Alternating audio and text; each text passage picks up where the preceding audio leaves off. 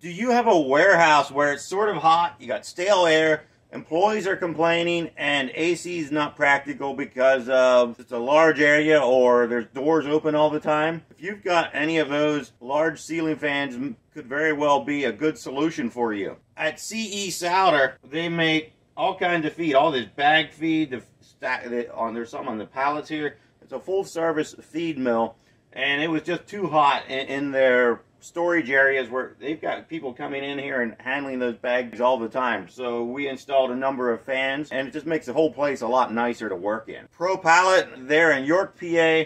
They put pallets together, they refurbish pallets, make new pallets, and it's a lot of labor they cut for refurbishing. They cut the boards off off the pallets and put new side rails in and make them look like new.